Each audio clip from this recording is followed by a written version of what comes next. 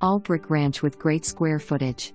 This 3 bedroom, 1.5 bath home is ready for new owners.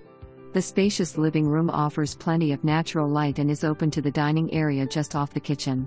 Bonus room off of the garage that could be used as large office or second main flooring family room. Ample storage throughout. The full basement offers additional finished square footage that could be used for rec room or third family room. The basement also offers lots of storage space as well. Plenty of room for outside entertaining with the huge front deck, enclosed sunroom, and patio area with fire pit in the fenced backyard. Convenient west location close to dining and shopping in Thompson Hills subdivision. Don't miss out on this one.